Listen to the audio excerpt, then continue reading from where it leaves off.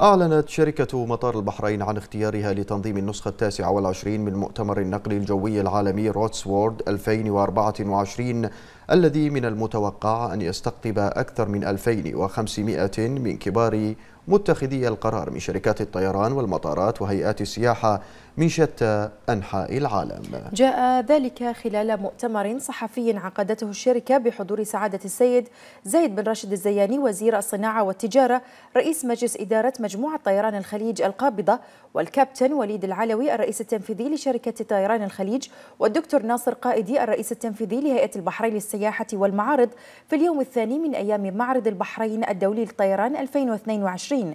وسيساهم مؤتمر Routes World 2024 في دعم تحقيق أهداف رؤية البحرين الاقتصادية 2030 الرامية إلى ترسيخ مكانة المملكة كمركز اقتصادي عالمي يتسم بالتنافسية والاستدامة.